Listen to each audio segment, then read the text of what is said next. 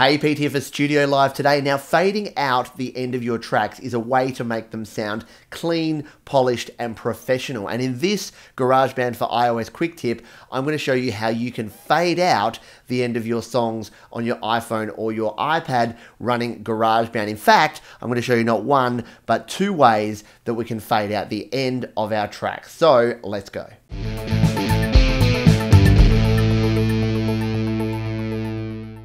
Okay, so here we are in GarageBand on my iPhone, and this is my recent song called Sin, which this is actually a pre release version because I wanted to show you this fade out technique using this song. So let's scroll over here and go to the end of the track to start with, and I will play you what the end of this track sounds like right now without any fade out at all.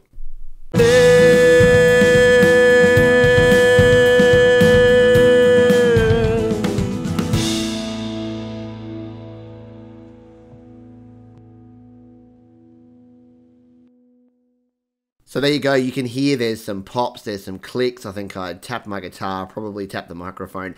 At the end of the song, you can always get pick up a little bit of extra noise. So what I want to do is I want to use a fade out to actually improve the sound at the end of this track. So as I mentioned, there's two ways to do this. The first and most simple way to do this is to use GarageBand's automatic fade out option. To get to that, we tap in the settings in the top right corner here. We scroll down and we select fade out. And now if we go back to our song, what GarageBand will do is fade it out. Now it's around about the three or four bars. I don't actually know because I don't use this in my final mix. I use a different method, which I'll show you in a moment, and I'll tell you why I use that different method as well. But let's play this and hear what GarageBand will do with its automatic fade out.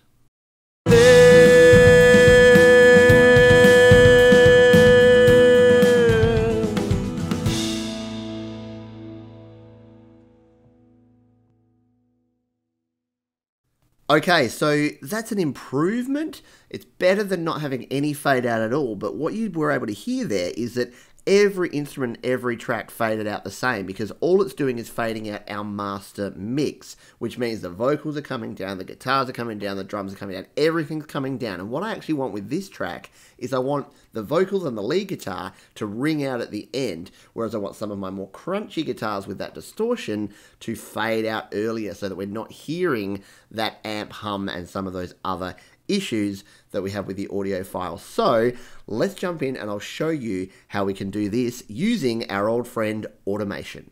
Okay, so before we jump in and get started with the automation, I'm going to give you my usual warning about automation, which is that you should leave it until the very end of your mixing or even mastering process. The reason for that is as soon as you start adding automation, you can no longer use the volume sliders here. To adjust your volume, you must use automation. I'll show you what I mean by that as we go through.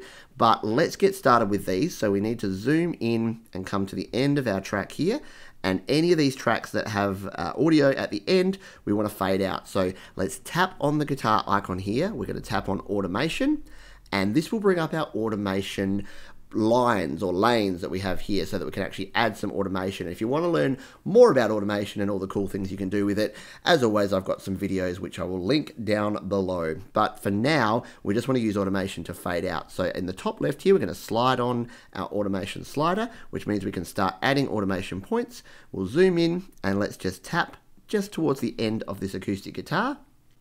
We're going to tap again right here towards the end and we're just going to drag that point down there. So this means that, in fact, we'll move this a little bit further out. So we'll have that last hit, it'll start to ring out on the acoustic, and then it's going to fade off so that we don't have any of that background noise. We're going to do the same again on this next track.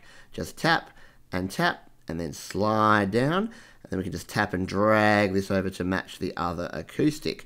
So you can see quickly, don't tap like that or you'll get another point. We're going to undo um, and we'll come down here to the next track. So this is my delay guitar and what I actually want with this one is I want it to ring out a little bit longer. So this is where you're going to start seeing the power that we have here with these automation points. So this one I can make come right down to here and then fade out at the end because that's that last lead guitar that I want to actually go a little bit longer. So that is going to work well. We've now got our crunchy distorted guitar, which I want to do the exact opposite with. We want to come in earlier and fade that one out a bit earlier too. So we don't want that distorted humming sound right at the end there. We want it to do its last hit and then probably about there start to fade out and finish earlier than the rest of our sounds. Uh, we've got our Seattle sound guitar here, which it doesn't actually go right to the end. Um, we'll just put a little bit of a safety one in here like that to make sure there's no kind of noise just in there on that one. Now our bass guitar down here will line up probably with our uh, acoustic guitars at the end here. In fact, no, that will come out a little bit earlier again because, again, the bass guitar and the bass amp can have quite a bit of hum when it's not actually playing a note. And that is it. So our drummer doesn't need any attention. Anders is okay. And our actually our vocals. Uh, let's just do this because I think I heard a little bit of microphone sound right at the end there. So we don't again want that to we want it to go right to the end of that that last note that I sing, and then we want it to drop off so that we're losing that any noise that we have in the background there. We're going to hit done now, and you can see here, these faint lines behind are our automation lanes or lines that we have on our track here. So what I'm going to do is we'll go back a little bit further this time and let's play the end of this song now with this automation applied and see what this ending sounds like. Sin, I didn't know it was a sin.